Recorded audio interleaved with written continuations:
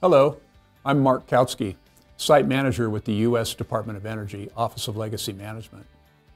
The Tuba City, Arizona disposal site is within the Navajo Nation and it's close to the Hopi Reservation.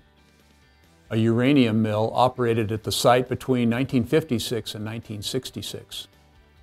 Milling operations created low-level radioactive mill tailings. DOE conducted site cleanup from 1988 through 1990.